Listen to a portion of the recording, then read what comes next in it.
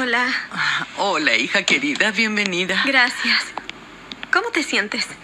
Gracias a Dios estoy bien. Solo quiero recuperarme rápido. Estoy tan aburrida aquí. Estar en un hospital me deprime mucho. Si estuviera en la casa me sentiría mejor. ¿Qué hay de ti? Estoy bien. Olvídate de mí. Claro que no, mi niña. Cuéntame. ¿Hay novedades? Dime, se reconciliaron, ¿verdad?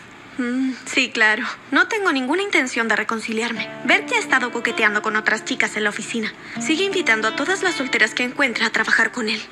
y está en su derecho, ahora es libre. Olvidaste todo lo que te dije, ¿verdad? Si sigues pensando así, vas a perder a tu marido. Tienes que controlarte, mi niña. Complácelo. Dile cosas dulces. Y salva tu matrimonio. No seas ridícula. ¿Acaso quieres trabajar toda la vida? Quizás nunca más vas a encontrar a un hombre y un futuro tan maravillosos.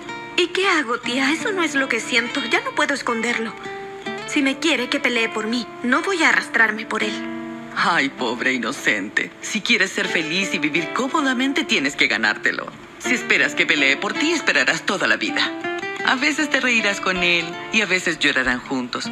Pero para conservar tu matrimonio no siempre debes decir la verdad. No puedes dejar que nadie te quite a tu hombre. ¿Entiendes?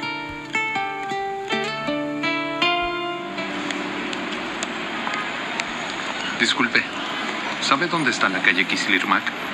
Ah, lo siento, pero no. Quizás algún vendedor pueda darle esa información. Muchas gracias. Gracias. De nada.